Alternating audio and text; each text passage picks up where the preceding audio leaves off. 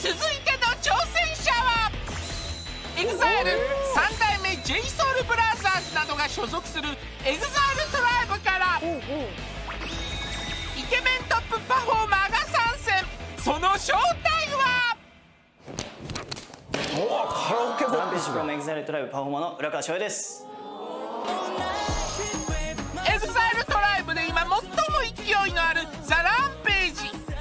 ンページ。その中でトップクラスのダンス力を誇るのが浦川翔平。なんでボーカルやらないの？っていうことを言われたことあります。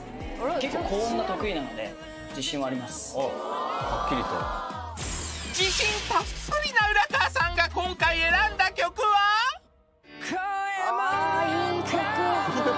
難 しい歌を選ぶ。ビルボードジャパン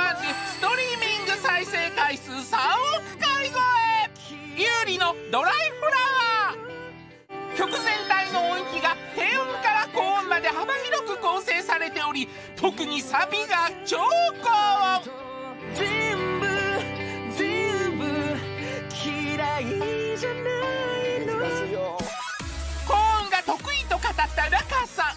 その真の実力は？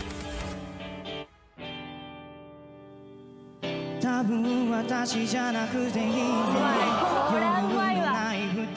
カーで分かってん気づけば喧嘩ばっかりしてさごめんね。もしいつかめっちゃうまいやん。どこかで会えたら今日のことを笑ってくれるかな。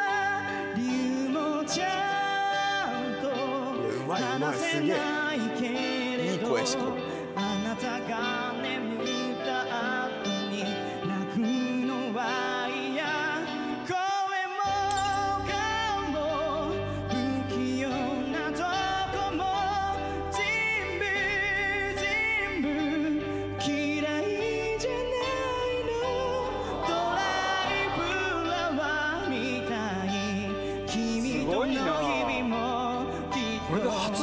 なんだ。ね。きっときっと色あせいやめっちゃうまいじゃん。こすげえれはいくでしょう。これこれは。